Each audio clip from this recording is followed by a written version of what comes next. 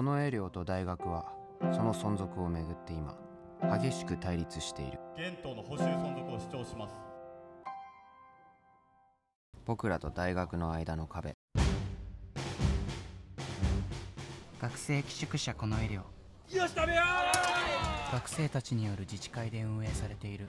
法人たちに引き継いでいきたいと考えています。補修しながら今の建物を存続させたいとする両側に対しそれはできしません。大学側は建て替えを主張えーたった今、えーこのエリアに住む学生は全員退去するよう通告すが出ました。いません。あのすいません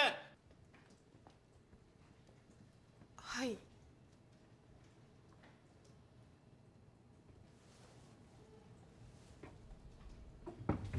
だ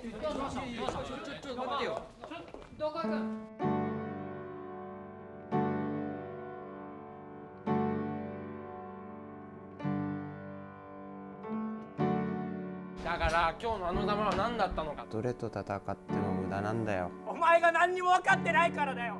でなければ僕らも引き下がるわけにいかないんだよ。この寮が潰されちゃうかもしれないんだぞ。